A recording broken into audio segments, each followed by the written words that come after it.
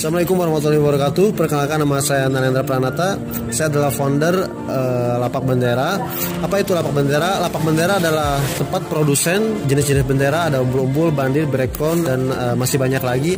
Nah, di kesempatan kali ini saya ingin membuka kesempatan bagi Anda semua. Karena apa? Karena kita akan open distribusi di 450 kota. Ya, jadi di setiap kota hanya ada satu distributor. Nah, untuk para distributornya kita akan pandu untuk mendapatkan